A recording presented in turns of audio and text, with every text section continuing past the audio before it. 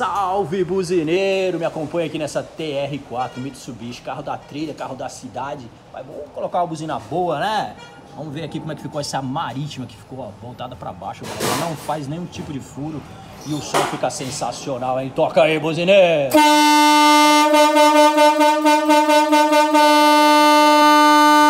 Sensacional, né? Já sabe, clica aí, compartilha, vem pra só buzina.